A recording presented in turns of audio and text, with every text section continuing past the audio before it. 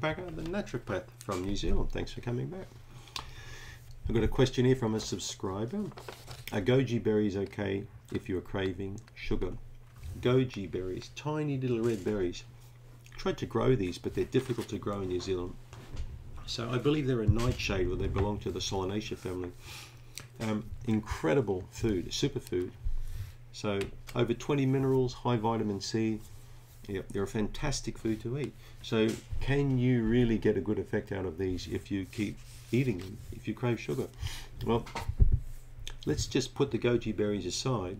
My question to the subscriber would be why do you crave sugar? And if you do crave sugar, don't look at something to substitute it for the sugar necessarily, but think why you crave sugar and how bad you crave sugar and what sources of sugar you're currently consuming. Okay, so if you get to the root cause of the problem, you won't need any kind of berry or anything as a substitute. But you can snack on these, not a problem, here or there. But is it going to be enough to quell the desire for sugar that you have? I would recommend that you look more at taking a multivitamin, chromium in it, for example. Chromium picolinate would be a good one to, to take, maybe 200 micrograms per day. If you're a larger person, you want to take a 500 microgram capsule maybe with your lunch. Uh, B vitamins are also quite intelligent to take if you crave sugar. That should help you significantly give you a boost of energy like the sugar often does. So, but also in very slowly over a period of about two to three months, changing your diet and lifestyle. Okay, because people who crave sugar often have got gut kind of issues as well as a result of the sugar. They may carry weight, they have fatigue or sleeping problems. So these things can all be reversed by slowing your need and desire for sugar by making those very slow incremental diet changes.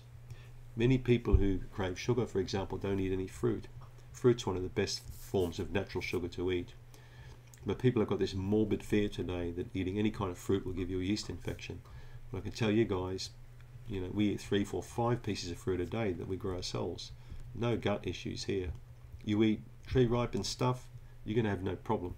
Just don't go stupid and eat like nine oranges in one day or do things like that. Too much of anything is going to cause a problem. So, goji berries are good, but keep it again to a small quantity and don't just eat these things as a substitute for sugar.